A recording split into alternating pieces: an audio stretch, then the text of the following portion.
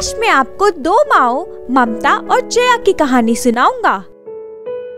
ममता जया के यहाँ झाड़ू पोछे का काम करती है। दीदी मुझे माँ के घर जाना है। दिवाली पर आप मेरी तनख्वाह पंद्रह दिन पहले दे सकती हैं? ठीक है। ममता आज तो मेरे पास घर पर पैसे नहीं हैं। मैं तुझे कल दे दूँगी। ममता तू जल्दी से काम कर ले। मुझे शालू को हॉस्पिटल लेकर जाना है। शालू का खसरा जब से ठीक हुआ मैं अपने कामों में इतनी व्यस्त हो गई कि इस पे ध्यान ही नहीं दे पाई। अब पिछले एक हफ़्ते से इसे खांसी और बुखार हो रहा है और दिन पर दिन इसकी तबीयत बिगड़ती ही जा रही है। जी दीदी जी आप फ़िक्र मत करो मैं जल्दी से काम कर लेती हूँ। बस वो आँगन धोना था वो मैं कल कर लूँगी। ममता अपने घर चली जाती है और घर के काम में व्यस्त हो जाती है। शाम को उसे अचानक शालू और जया का ध्यान आता है।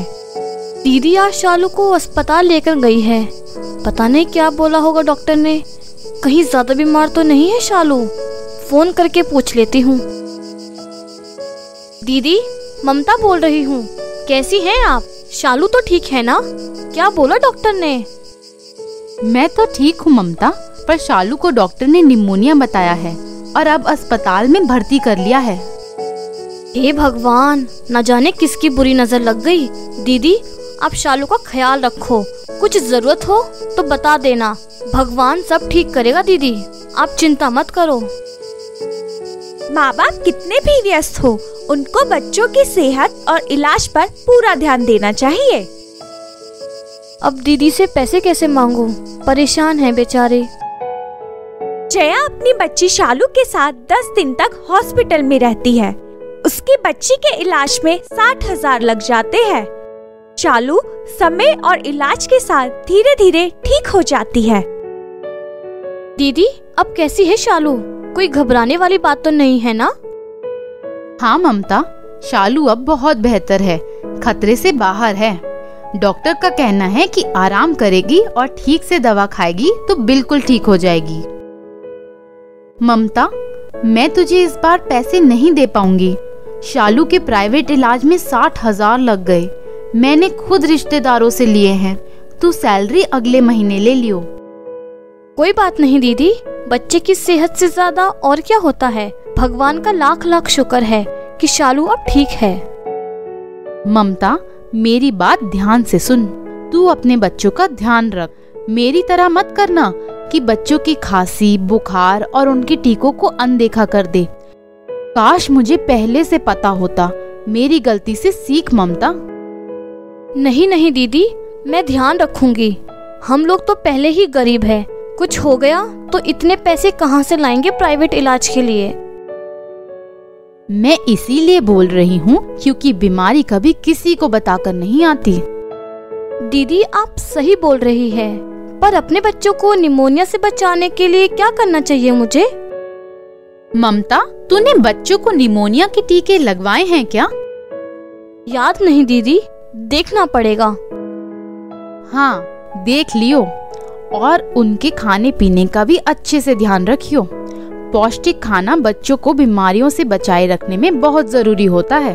और अभी तो तेरी मुन्नी छह महीने से छोटी है ना? तो ध्यान रखियो उसे छह महीने तक अपना ही दूध पिलाना है। एक और बात घर की साफ़ सफ़ाई के साथ साथ बच्चे का खाना बनाने या उसे उठाने से पहले हाथ साबुन से धोना कभी मत भूलना। जी दीदी। अच्छा ममता, एक बात तो बता, तुम खाना किस पे बनाती हो? दीदी, चूल्हे पे। तो अपना चूल्हा कमरे से दूर कर लेना। जहाँ बच्चे खेलते हैं और सोते हैं, वहाँ चूल्हे का धुआँ नहीं होना चाहिए। धुएँ से बच्चों में निमोनिया और सांस की बीमारियाँ होने का खतरा रहता है।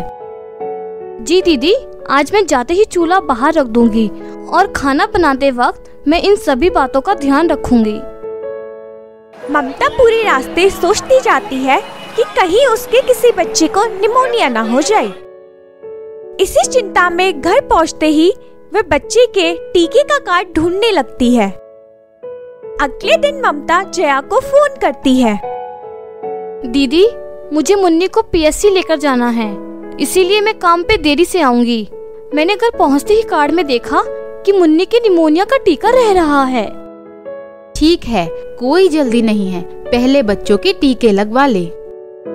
जी दीदी। कितना अच्छा हो अगर हम सभी अपनी गलतियों से सीखे और सीख कर दूसरों को भी जानकारी दे ताकि वो हमारी तरह भूल ना करे। आप जानते हैं कि निमोनिया जैसी घातक बीमारी का बचाव किया जा सकता है। निमोनिया जैसी घातक बीमारी से बचाव किया जा सकता है। बच्चों को छह महीने तक अपना दूध पिलाए समय समय पर टीके लगवाए और खाने पीने साफ़ सफ़ाई का ध्यान रखे।